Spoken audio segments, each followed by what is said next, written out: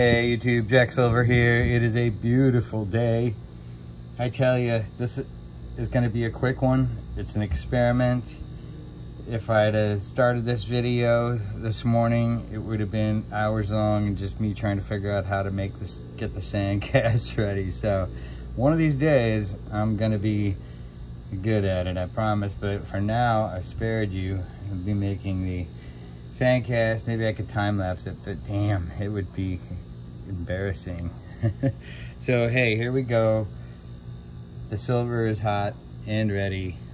Let's rock. All right, here we go. The key is gonna be that if it all goes down, you know, the last time I did this, it didn't go down, and you know what? I got a feeling it didn't go down this time either. So we poured it all. Son of a gun. Either that or I had a lot more silver than I thought I had. Let's see. What could have happened here? Let's shake this off.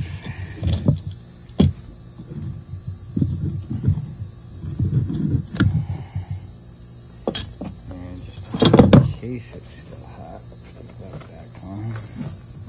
Yeah, it's hot now. Oh, it made it to two, but not three and four. Ah, I tell you, man.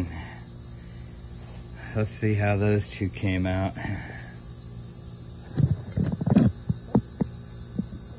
Uh, now you can see it. wow. Well, let's see if we got anything to work with here out of all that. You know, the Eagles uh, came out okay. We'll kind of have to see, you know. I'm still waiting on Petrobond. So until I get the Petrobond in, I have to keep at the sand casting. We'll clean these up, see if they're anything worthwhile. I'm really looking forward to these two. Let's save those for a surprise later.